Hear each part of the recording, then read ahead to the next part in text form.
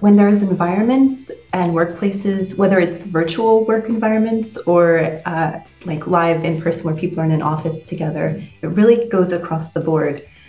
Regardless of culture or um, time zone or native language, what seems to be the most impactful is when there is this culture of collaboration when people actually know how to encourage each other, where they get to bring out the best in each other and it's not one person doing it for everyone else.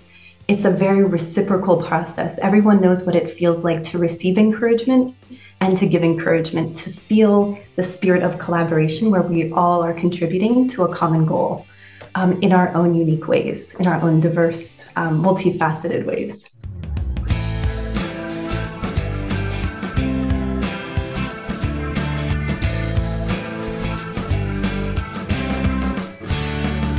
What motivates me personally is humanity. I have seen and witnessed and been the recipient of the most extraordinary acts of service, of selflessness, of inclusion, of welcoming. And whenever we have moments where we are among people who help us trust ourselves, to see that innately we have gems of inestimable value and things that we can actually polish and refine and reflect even more goodness into the world. So I would say the thing that motivates me the most is when human beings individually and collectively learn how to trust themselves, to trust their innate goodness, and trust processes that help them express those gems um, in in ways that actually not only help them but also help others. Um, so I would say a big part of it is trust. Trust motivates me.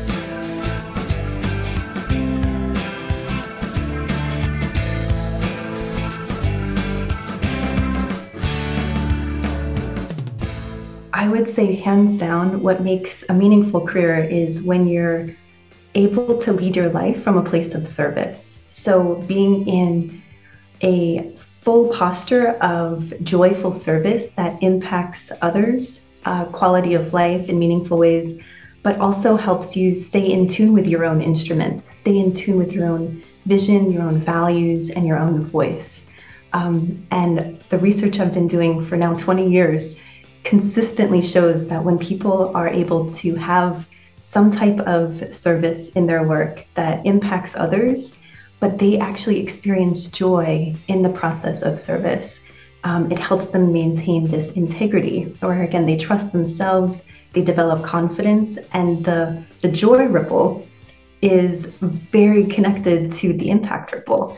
And um, they seem to really be very united and inter interwoven with each other impact, integrity, and joy.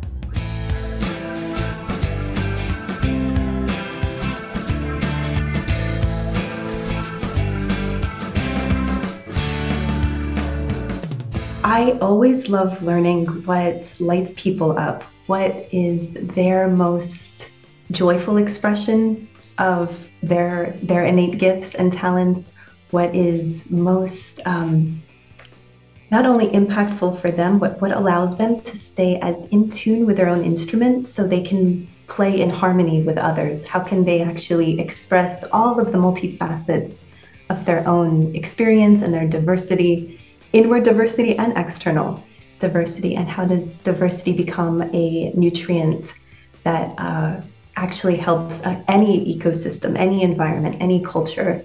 To thrive. Another thing that I'd love to, to hear from the participants what are the things that make you doubt yourself? What fears come up? I call them stress points. Every leadership style has different stress points. They're not weaknesses, they're areas where we can experience a little bit more vulnerability or doubt.